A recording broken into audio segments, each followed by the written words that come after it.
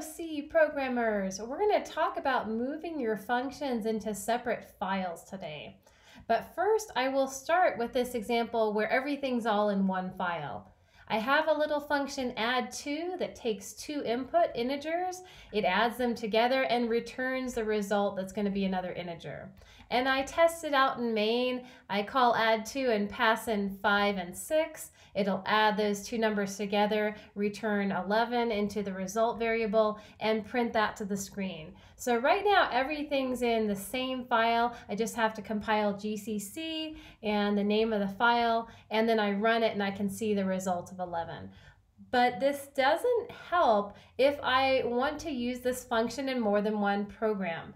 So if I have like three or four different programs and they all want to use a function, then one solution would be copy and paste this function and plop it down in the three different programs. But that's not the best solution. So another solution would be I'm going to copy and paste this. Let's copy this and move it into another file called, and I'm going to call it add2.c because that's the name of my function. And I had already actually set this up ahead of time. So I've got this, the body of the function is moved to a separate file, and I'm going to remove it from the original code. And I also want to create another file that is has the prototype for that function. So this other file will be a header file. I'm going to call it add2.h, and I also set that up ahead of time. All it has is the prototype of that function. So just add two that takes two integers and returns an integer. And so anyone that wants to use this function, they can pull in that prototype include that prototype. And because it's a file that I made that's in the current directory, I'm going to use double quotes instead of um, a less than and greater than sign around my header file. So I've got, I'm going to pull in that prototype so that the compiler knows it's okay to call add two and pass into integers and return an integer, and then I'll print the result.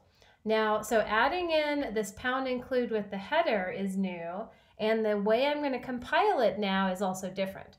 So now when I compile it, I need not only main.c, but I need add2.c. So any of your .c files that have code that your program needs, you're going to compile them together and the executable is still going to be a.out as a default and we can run that and see that add2 does produce a result of 11.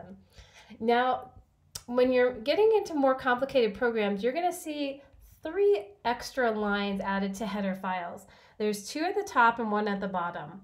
So at the top, you're going to see if not defined and then some kind of a what looks like a variable name. So I'm going to say add two underscore h. That's kind of the name of the file, only everything's capitalized and there's an underscore instead of a period.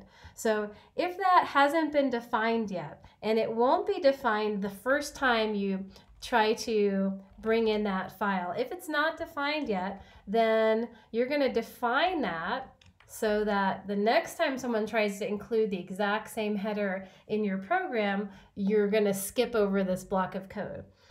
And then at the end of your file, you're going to have an end if.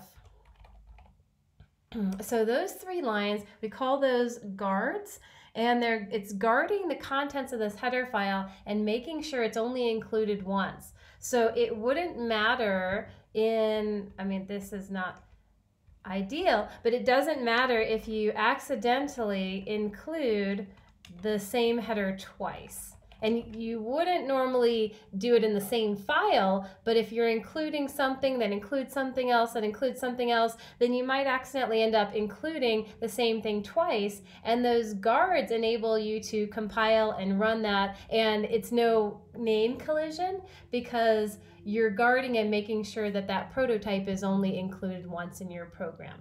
So that was just a very simple example. Let me bring up my main again so you can see all three of those files that are working together side by side. So we've got our main, and we're including any header files that have prototypes for functions we want to use. We've got another file that has the body of our function, and then we've also got the header file down here.